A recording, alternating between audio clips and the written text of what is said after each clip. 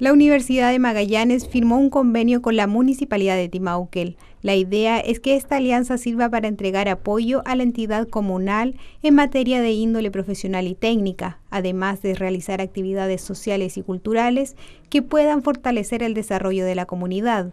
Bajo esa idea es que los alumnos de la universidad podrán realizar su práctica profesional o pasantías en la comuna.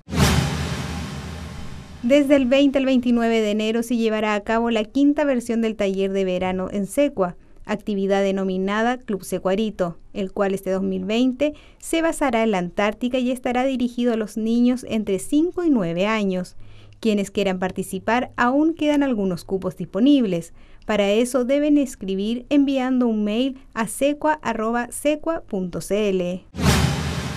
Ceremi de Educación firmó convenio con la Municipalidad de Timauquel por un monto cercano a los 85 millones de pesos para financiar la ejecución del proyecto denominado Conservación de Techumbres de la Escuela Ignacio Carrera Pinto de Villa Cameron. Con esto se realizarán los trabajos de mejoramiento del revestimiento de zinc del techo de la escuela, dado que la actual techumbre presenta filtraciones, lo que beneficiará a 25 estudiantes en los niveles parvulario y básico de la comuna.